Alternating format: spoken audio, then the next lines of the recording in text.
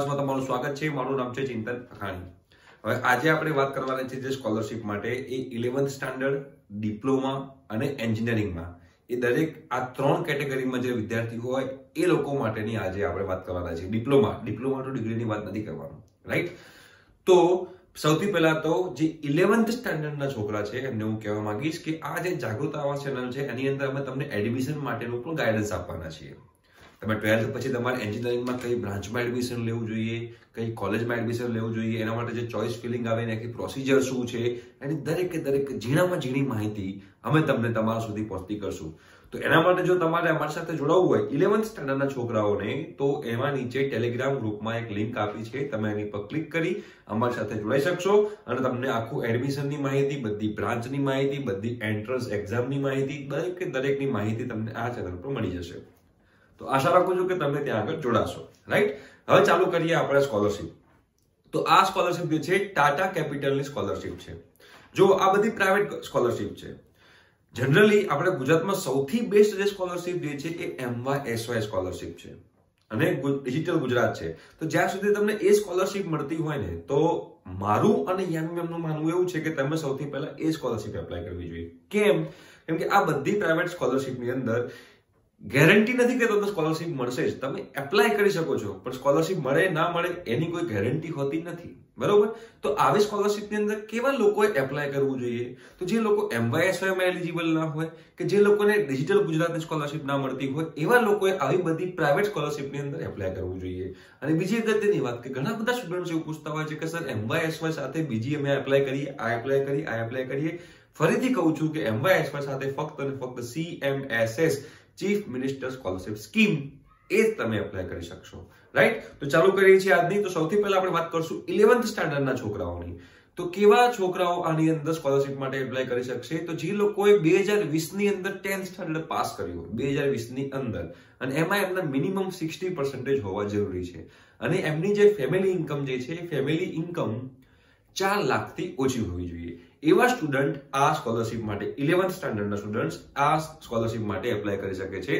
અને આમાં તમને ફાયદો કેટલો મળશે તો અપ ટુ એટી પર્સન્ટ તમારી જે ટ્યુશન ફી હોય, એટલે કે તમારી જે સ્કૂલ ફી હોય, એના એટી પર્સન્ટ અને દસ હજાર. આ બંનેમાંથી જે ઓછું હોય, એ તમને મળશે. રાઈટ ફોર એક્ઝામ્પલ તમારી ફી છે પચાસ હજાર, તો એને એસી ટકા થાય ચાલીસ હજાર અને દસ હજાર. એ બંનેમાંથી ઓછું કોણ? તો કે દસ હજાર. તો તમને એ સ્કોલરશિપ મળશે. રાઈટ તો આ ઇલેવન્થ સ્ટાન્ડર્ડની વાત થઈ ગઈ.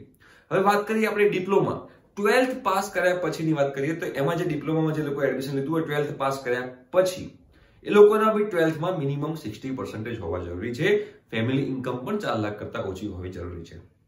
રાઈટ અને આની શું છે તમારો ફાયદો? તો અપ ટુ એટી પર્સન્ટ એટલે કે એસી ટકા અને પંદર હજાર. આ બંનેમાંથી જે ઓછું હોય એ તમને સ્કોલરશિપ માટે મળશે. ક્લિયર થઈ ગયું? એવી જ રીતે આપણે વાત કરીએ એન્જિનિયરિંગમાં એટલે કે અંડર ગ્રેજ્યુએટ એની અંદર વેબસાઇટ પર લખ્યું છે કે undergraduate like BCom BSc BCA એવા એક્સેટ્રા એક્સેટ્રા એવી રીતે લખેલું છે. અંડર ગ્રેજ્યુએટ કોર્સની વાત ચાલી રહી છે. તો આ અંડર ગ્રેજ્યુએટની અંદર ફાર્મસી પણ આવી જાય એન્જિનિયરિંગ પણ આવી જાય ડિપ્લોમા ટુ ડિગ્રી વાળા પણ આવી જાય, પણ એમાં ટ્વેલ્થ પાસ કીધું છે એટલે ડિપ્લોમા ટુ ડિગ્રી આની અંદર આવી શકે નહીં. ભલે કહેવાતા અંડર ગ્રેજ્યુએટ પણ ટ્વેલ્થ પાસ બે હજાર વીસમાં અમને નથી કર્યું. બરોબર? એ લોકો પહેલા અમને કરેલું હોય, એટલે તો આ અંડર ગ્રેજ્યુએટમાં મેં તમને કહી દીધું કે ડિપ્લોમા ટુ ડિગ્રી નહીં આવે, પણ pharmacy engineering BCA BCom BSc એ બધા જ એની અંદર આવી શકે છે. હવે એના માટે શું એલિજિબિલિટી ક્રાઇટેરિયા છે? તો ટ્વેલ્થ સ્ટેન્ડર્ડની અંદર મિનિમમ તમારા સિક્સટી પર્સન્ટેજ હોવા જોઈએ. તમારા ફેમિલીની ઇન્કમ ચાર લાખથી ઓછી હોવી જોઈએ રાઈટ તો તમે આના માટે એલિજિબલ છો. અને આમાં તમને કેટલો ફાયદો મળશે? તો આમાં તમને અપ ટુ એટી અને વીસ હજાર આ બંનેમાંથી જે ઓછું હશે એ તમને મળશે. રાઈટ તો આ એનો ફાયદો છે. અને આની આ જે લાસ્ટ ડેટ જે છે એ થર્ટી ફર્સ્ટ ડિસેમ્બર છે. રાઈટ તો આ બધી જે પ્રાઇવેટ સ્કોલરશિપ જે છે, એમાં ઘણા બધા અમને એવું પણ પૂછતા હોય છે કે, સર, આ બે સ્કોલરશિપ ક્લબ કરીએ, આ બે સ્કોલરશિપ ક્લબ કરીએ. તો તમે જ્યારે પણ આ કોઈ પણ એક સ્કોલરશિપ તમે એપ્લાય કરવા જાઓ છો, તો ત્યારે તેમાં એમાં ટર્મ્સ એન્ડ કન્ડિશન જે હોય તમારે વાંચવાની. એ ટર્મ્સ એન્ડ કન્ડિશનમાં એવું લખેલું હોય કે જો તમારે આ સ્કોલરશિપનો ફાયદો લેવો હોય, તો આ સ્કોલરશિપ સિવાય બીજી કોઈ પણ સ્કોલરશિપનો ફાયદો તમે લેતા હોવા જોઈએ નહીં. જો એવું લખેલું હોય, તો તમે એ સ્કોલરશિપમાં એપ્લાય કરતા હો, તો એના સિવાય તમે બીજી કોઈ પણ સ્કોલરશિપમાં તમે એપ્લાય ના કરતા. રાઈટ તો આશા રાખું છું કે તમને દરેકે દરેક ડાઉટ ધીમે ધીમે ક્લિયર થતા જતા હશે. અને આ સ્કોલરશિપ માટે જો તમારે એપ્લાય કરવું હોય, તો એની લિંક પણ નીચે ડિસ્ક્રિપ્શન બોક્સમાં આપેલી છે. તો ક્લિક કરો જેને એપ્લાય કરવું હોય એપ્લાય કરો. કેવા લોકો એપ્લાય કરવું જોઈએ? જે લોકોને એમવાયએસવાય નો કે ડિજિટલ ગુજરાતનો લાભ ના મળતો હોય, એવા લોકો એની અંદર એપ્લાય કરવું જોઈએ. તો આશા રાખું છું કે આ પણ સ્કોલરશિપમાં આપણા છોકરાઓને ફાયદો મળી શકશે અને બીજી કોઈ પણ સ્કોલરશિપ અમને મળશે, તો અમે એનો પણ વીડિયો બનાવતા રહીશું.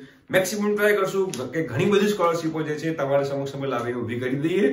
તો તમને ઘણા બધા ઓપ્શન મળી રહે અને તમારે જે પણ સ્કોલરશિપમાં તમારે એપ્લાય કરવું હોય, તમને લાગતું હોય કે તમારા માટે બેસ્ટ છે, જેમાં તમારી જે ક્રાઇટેરિયા જે છે, એમાં તમે શૂટ થાવ છો, તમે એમાં ફિટ થાવ છો, તો તમે એની અંદર એપ્લાય કરજો.